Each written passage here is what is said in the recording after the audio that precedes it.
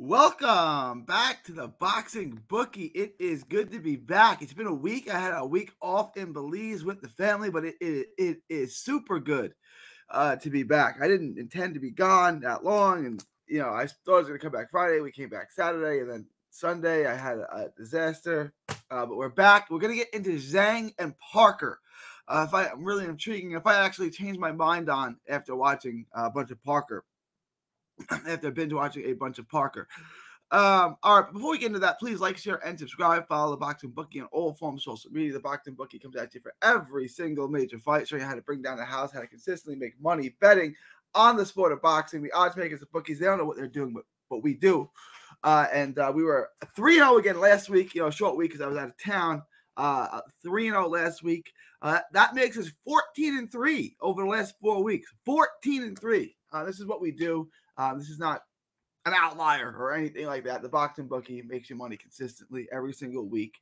Uh, and show some support, join the Patreon. Uh, the link is in the description. You get the lock of the week. You can ask me anything. You can handicap a fight. You get a free t-shirt. There's a ton of perks that go along with it. Please like, share, and subscribe. Uh, follow the Patreon as well. Also follow our other channel, Texas Boxing Scene on YouTube. That's completely dedicated to Texas boxing. Okay. Let's get into uh, Zhang and Parker. Zhang is a problem. The Big Bang Zhang is a problem. 6'6, 280, right? He's not really all that slow, right? Like he's not a speed demon. He's not a combination puncher, but he can put combinations together and he's not as slow as, say, Joe Joyce, which is why he beat down Joe Joyce. Southpaw works behind the jab, wants to come forward. Uh, mixes up the body and head really, really well. He mixes up his combinations. Uses his he uses his slow feet pretty well. His feet are slow, but his footwork and his angles are pretty good. He can he can stay in front of you. Is what I'm trying to say. He's obviously strong as a Brahma bull. A lot of power. The left hand is special. The left hand is huge. Now, how can he? Now, how does he land it? The straight left. That's his money punch. That's what he's looking to land. That that's his night night punch.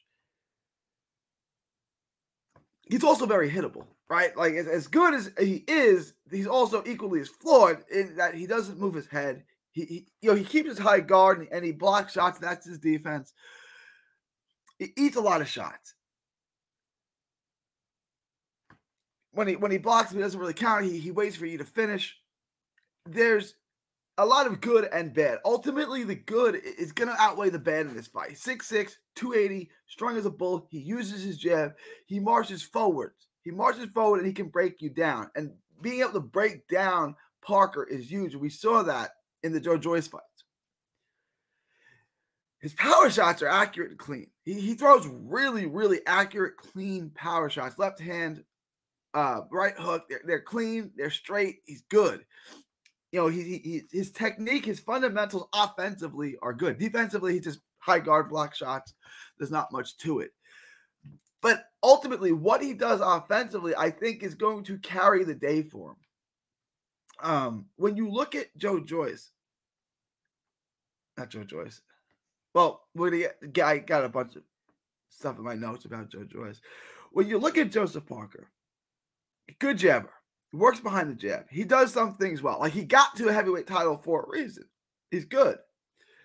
He mixes up his combinations. He mixes up his cadence really good. He'll, he'll jab, jab, jab, triple jab, and then you know the next time he comes in, he'll throw a hook to the you know he'll throw a lead hook. The lead left hook is really good. He loops the right hand, which we saw a lot of success in the Wilder fight. The looping right hand. So he scores with these shots, especially with a guy like Zhang. He's going to score. He's going to land with these shots because Zhang is there to be hit you know, even the shots that don't land clean, they're to land partially because, you know, Zhang doesn't move his head. He just bl- blocks shots. What I don't like about him is he carries that lead hand really low. And we saw this in the Joyce fight. Now, he's tried to fix it since a little bit, but he still gets lazy defensively and sloppy, and that lead hand drops. And when it drops, that's why his face gets cut open like it did in the Joyce fight is because he's just going to get hit. Now, Zhang is a super version of Joyce. Zhang is similar to Joyce, but better, bigger, stronger, faster, better combination puncher, better. And, that's why I'm saying stop them. That's why I'm saying beat them down because they're similar fighters. And Joyce, and I know a lot of times boxing math doesn't work like I'm laying it out. I understand. But Joyce is just not as good as Zhang. They're the similar fighters, and Zhang is just going to have more success. Zhang is just a super version of Joyce, and he's going to have more success, and he's going to and, he, and he's going to beat Parker down. I, I think Parker fades in fights. We've seen this with Parker. You know, he likes to come forward. Like when he's doing what he did with Wilder, coming forward, he's having success. But when you break him down, like they say, uh, fatigue makes cowards of all men. When you start to slow Parker down, he's going to go backwards. And when he's going backwards, he's not good. He's not the same fighter. I want to see him throw the lead, let hook the right hand. I think he can be competitive in this fight. I think he can have moments, and I'm not really going to touch. I, I, I think Zhang stops him, but I'm going to stay away from that because Parker's chin is is really good. I, I know he got stopped late in that Joyce fight, but he took such a beating in that fight, and then he gone the distance with Wilder. I know Wilder didn't hit it with, but Parker's got a good chin you know, Parker's not all that slow either. He's not that slow. He's a decent athlete for his size. Like I said, he mixes up his shots, his combinations, his cadences. He, he's good. He does a lot of things well. I just don't see with his flaws defensively, with his, you know, and, and how he gets broken down. I think he has gas tank issues as well. I, I see Zhang breaking him down. So let, let's take a look at the let's take a look at the odds and show you how we're going to make money on this fight.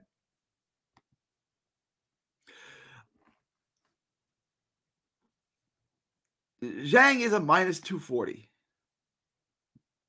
I'm really confident in this. I'm going to make this a one and a half times bet. So a $150 bet in this case would make us 62.50. It's not bad. That's not bad.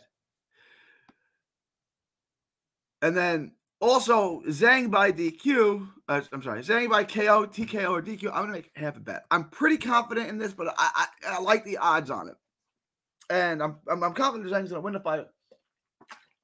Make half a bet on that, and it pays pretty well. Forty one, a fifty dollar bet pays.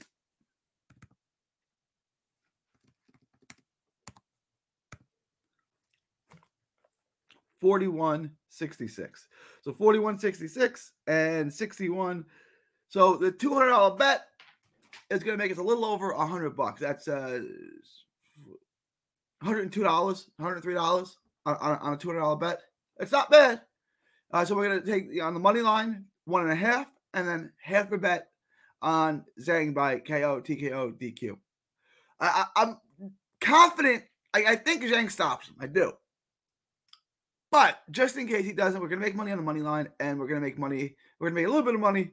Uh, a little bit of profit is better than, than no profit. Uh, certainly better than a loss. So we're going to make a little bit of profit on the KO, TKO, and we're going to make, uh, as well, we're going to make profit on Zhang winning. And Zhang on the money line, I think, is the safest bet. Zhang's going to win this fight. Uh, Joyce is, is kind of tailor made for him. Joyce, I keep doing that. Parker is kind of tailor made for him in, the same way that he was tailor made for Joyce. So we're going to go with Zhang. One and a half money line minus 240. Zhang, half a bet by stoppage, uh, minus 120. Let me know what you guys think. Leave your thoughts, comments below. Please like, share, and subscribe. Follow the Boxing Bookie on all forms of social media. The Boxing Bookie comes at you for every single major fight, showing you how to bring down the house. There's always a bull market somewhere, and we are consistently making money. 14 and 3 the last uh, four weeks. No one else has a track record like that. No one else can. I mean, this is established that I'm the best in the world at this. I, I am. Uh, show some support. Join the Patreon. We're gonna make money every week with the Patreon. The link is in the description. You get the free T-shirt. You get the lock of the week. You can ask me any, ask me handicap any fight you want. I'll show you how to make money on that fight as well. Uh, we're doing this every single week, making you money. Uh, please uh, subscribe to the other channel as well, Texas Boxing Scene on YouTube. That is Texas Boxing Scene. All proceeds go to autism research and recovery. It is March 4th. It's March already, 2024. From Texas to the world, thank you and God bless. Don't miss a tweet, post, story, or video. 3D Boxing is on Twitter, Instagram, and Facebook. Hit the subscribe button now to stay inside the ring.